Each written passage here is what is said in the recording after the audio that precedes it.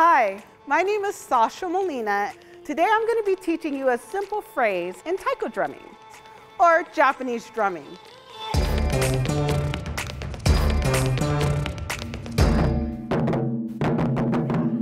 As you see, we have some equipment here, and you probably don't have that at home. But if you wanted to try some things out, you can use the middle of a paper towel roll, some pool noodles or something like that as your bachi or drumsticks. And this is a taiko drum. This is a chu daiko, and this is a shime daiko. You can use pillows or blankets or couches, something that you can hit. First, we have to learn how to stand at the taiko.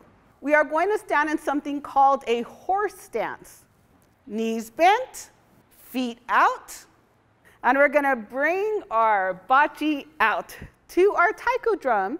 We're squeezing with our pinky and squeezing with our ring finger, and there's movement within our hands.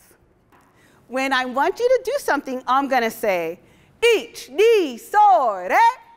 That is our tempo, or how fast I want you to go. The first thing we're gonna do is get back into that taiko stance. And we're just going to tap one and two and three and four and on our taiko. Each, di, so, re. One and two and three and four and. This is called a suku. A suku are small little hits. Next, we're gonna bend this elbow here. From here to here. And we're gonna do the exact same thing. We're gonna bend and you're gonna hit. That is called a doko. Our doko is our medium hit in taiko. And we're gonna do four of those. Ich, ni, so. Fantastic. Let's put that together. Four suku and four doko. Ich, ni, so.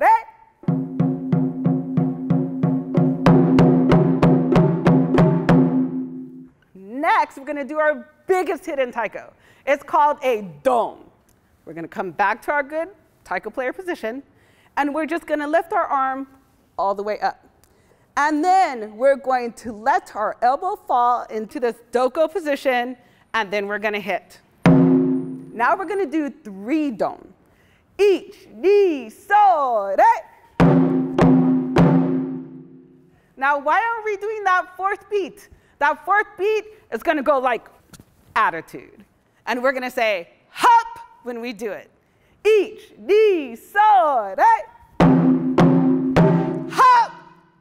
Next, we're going to do some movement. So we're here. We're gonna bring our right hand into our body, and we're gonna go hop again. Then our left hand around, and hop. So we're gonna actually put that together from the dome.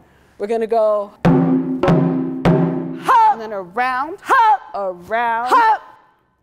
Now to end the song, we're gonna do three more don, and then we're gonna pose and say, sa, whatever you think looks cool. Okay, let's put that all together. Each, ni, so, re.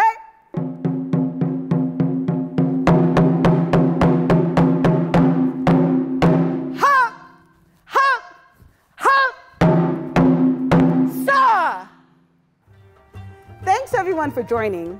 And don't forget to watch the full episode of If Cities Could Dance on Sacramento Taiko.